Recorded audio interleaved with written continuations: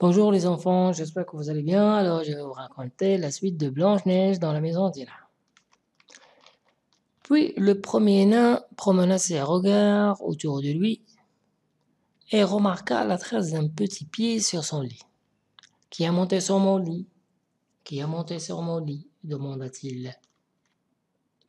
Les autres accoururent et chacun d'eux s'écria Quelqu'un s'est couché aussi dans le mien. Quant au septième, lorsqu'il regarda son lit, il aperçut Blanche-Neige endormie. Il appela ses compagnons qui s'empressèrent de venir et poussèrent des cris d'étonnement.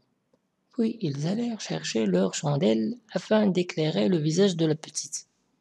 Eh mon Dieu, dirent-ils, quel bel enfant Et ils éprouvèrent une telle joie qu'ils ne l'éveillèrent pas.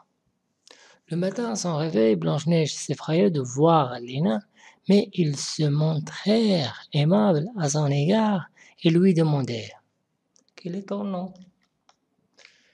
Euh, Je m'appelle Blanche-Neige, répondit-il.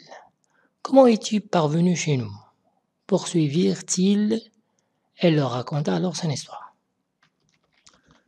Veux-tu t'occuper de notre ménage, préparer nos repas, faire nos lits, laver, coudre et t'écouter lui demandèrent-ils.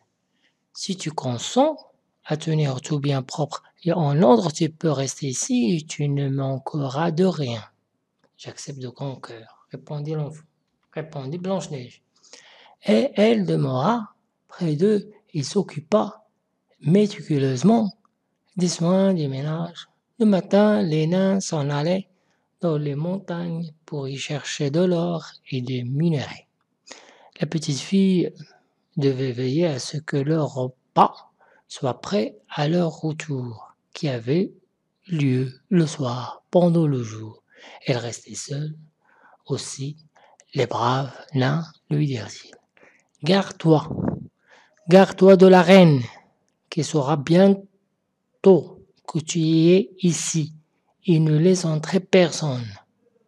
Garde-toi de la reine qui saura bientôt que tu es ici et ne laisse entrer personne.